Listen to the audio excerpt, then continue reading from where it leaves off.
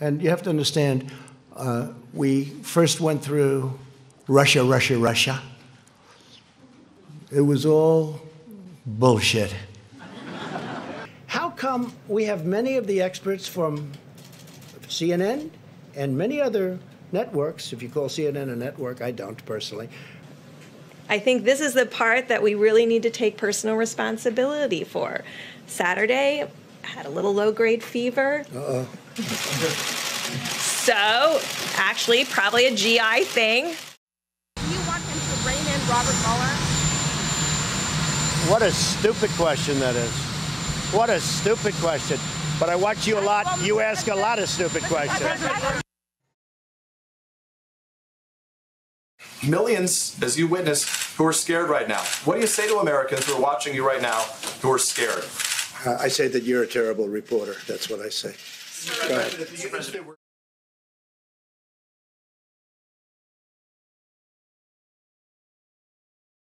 And we're prepared to do vast numbers. Uh, I think we're in great shape. I hope that's the case. I hope that we're going to have leftovers so we can help other people, other countries. Everybody who needs one will be able to get a ventilator. Uh, look, look, don't be a cutie pie, okay? You know, everyone who needs one. Nobody's ever done what we've done. Nobody's done anything like we've been able to do. And everything I took over was a mess. It was a broken country in so many ways, in so many ways other than this. We had a bad testing system. We had a bad stockpile system. We had nothing in the stockpile system. So I wouldn't tell me what you tell what you know, like uh, being a wise guy. Go ahead. Uh, no, I think the Washington Post covers us very inaccurately, covers me very inaccurately. I saw the story. I think it's a disgrace, but it's the Washington Post, and I guess we have to live with it. It's a very, it's a very inaccurate, quiet, quiet. Then Bob Mueller testified. That didn't work out so well for the other side. Okay. Uh, Mr. President, Mr. President, I, I know that you continue to say you obviously. Okay, hold it one second. Any other questions from any other people? Okay, thank you very much, everybody. Let's run, we're I had uh, I had Nancy Pelosi sitting four seats away, and I'm saying things that a lot of people wouldn't have said, but I meant every I meant every word of it. Say hello to the people of Utah, and tell them I'm sorry about Mitt Romney. I'm sorry. Why, why you know about? Who you with? Who you with? I'm with NPR, Ayesha Rascoe. Okay, go ahead. You, you're not up. Go ahead, please. Do you support uh, any money for the Postal Service? So I can comment on that, Mr. Go ahead, President. Postal Service. So we authorized in the last CARE Act uh, over $10 billion of a loan. Uh, My team is already actively working on that with the Postal Service if they need the money, and we're, we're dealing with that. The Postal Service is a joke.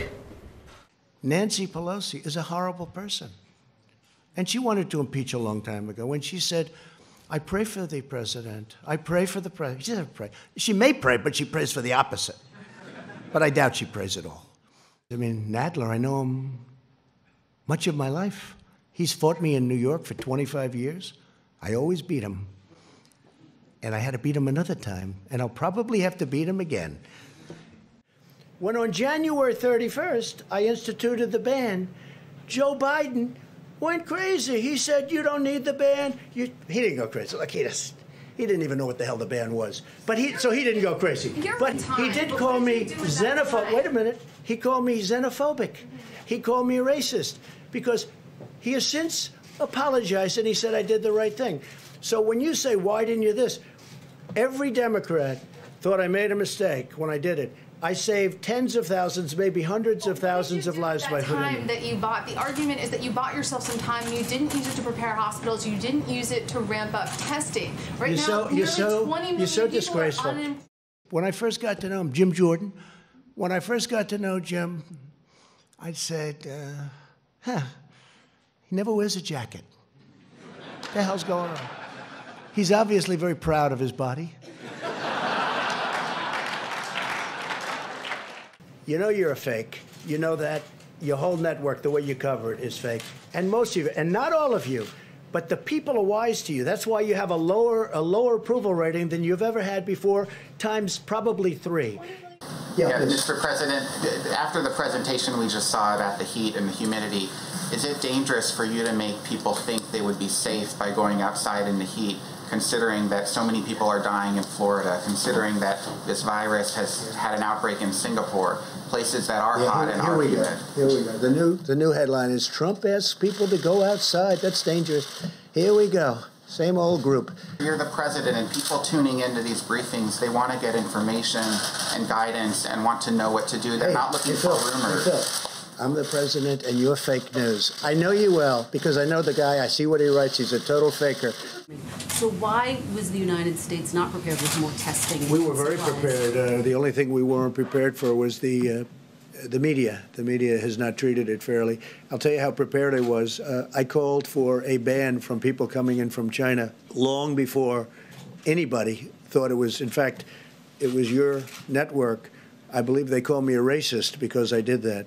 Uh, it was many of the people in the room. They called me racist and other words uh, because I did that because I went so early. So when you say we weren't prepared, had I let these tens of thousands of people come in from China a day, we would have had something right now that would have been uh, you wouldn't have even recognized it compared to where we are.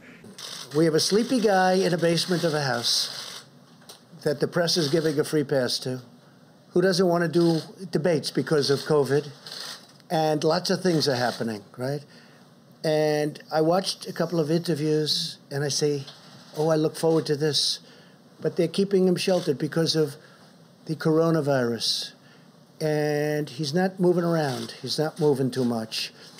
What do you say to Americans who are upset with you over the way you downplayed this crisis over the last couple of months? It's people like you and CNN that say things like that.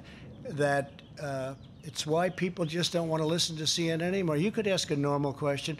The statements I made are: I want to keep the country calm. I don't want panic in the country. I could cause panic much better than even you. I could do much. I would make you look like a minor league player. But you know what? I don't want to do that. I want to have our country be calm and strong and fight and win, and it will go away. And it is incredible the job that all of these people are doing, putting them all together, the job that they're doing. I am very proud of the job they're doing, that Mike Pence is doing, that the task force has done, that Honeywell and Procter and Gamble and Mike and all of these people have done. I'm very proud. It's it's almost a miracle, and it is the way it's all come together.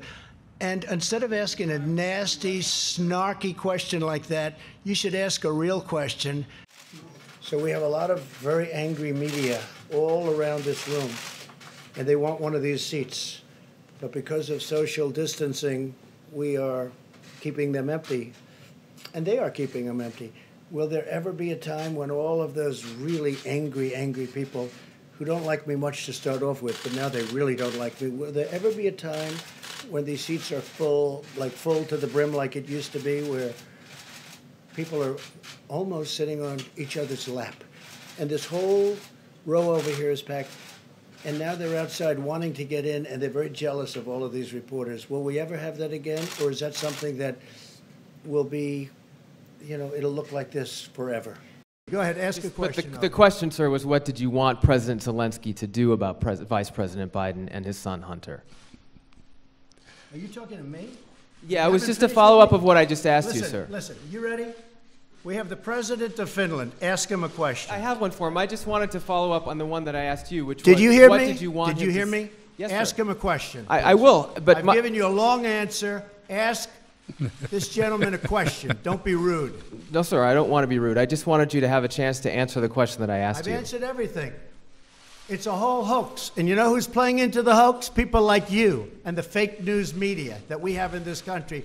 And I say, in many cases, the corrupt media, because you're corrupt. Much of the media in this country is not just fake, it's corrupt. Uh, they go up to about 50 miles, over 50 miles, as a matter of fact, straight up. And do they immediately come straight down? They or do. do they tour around? Uh, they'll get about 10 minutes of weightlessness uh, before they come back to Earth. Um, so it's not so much of a tour around, but just a, a period of time where you get to experience weightlessness. Would you do it? I would absolutely do it. Are you kidding? In a heartbeat. Um, and in fact, I'll pass. Yesterday, Jared Kushner said the notion of the federal stockpile was it's supposed to be our stockpile. It's not supposed to be state stockpiles that they then use. What did he mean by our Oh, why don't you ask him? And I mean, yeah. even the fact that taxpayers from What's that? every It state got you. I got you. it. You No, it's the not word gotcha. Our, What do you Hour, mean you know what our means? United States of America. That's what it means. It means the states. hour, hour. It means the United States of America.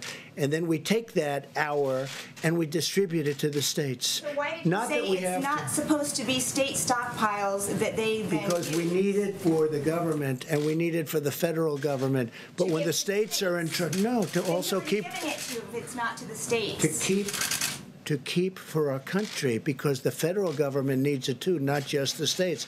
But out of that, we oftentimes choose, as an example, we have almost 10,000 ventilators, and we are ready to rock with those ventilators. We're going to bring them to various areas of the country that need them. But when he says our, he's talking about our country. He He's talking, excuse me, he's talking about the federal government. I mean, it's such a basic, simple question, and you try and make it sound so bad. You ought to be, I, you ought to be trying to ashamed of yourself. No, You know what? You ought to be ashamed. way, It's such a simple question. He said our. An hour means for the country. An hour means for the states because the states are a part of the country. Don't make it sound bad. Don't make it sound bad. Go ahead, Steve. Go ahead, back here. The HHS even changed the You just language asked your question. You just asked your question in a very nasty tone. It was nasty. Let's go. You didn't give me an uh, answer. Please. Mr. President, I gave you a perfect answer. You know it. Go ahead. Despite the nearly 1.8 million tests that you say the United States has done, the Inspector General for the Department of Health and Human Services released a report today, a survey of more than 300 hospitals across the country. And the number one complaint from those hospitals were severe shortages of testing supplies and Well, a really wrong. long wait time. I mean, It's a week wrong. or longer. And Did I hear the word Inspector General? Really? Uh, It's wrong. And they'll talk to you about it. It's wrong. But this is your own government. Uh, It's, well, where did he come from, the Inspector General? What's his name? It came from the Inspector No, General what's his name? What's I don't name? know his name Well, off the tell of me his name. head. Let me know, okay? Give me the name of the Inspector General.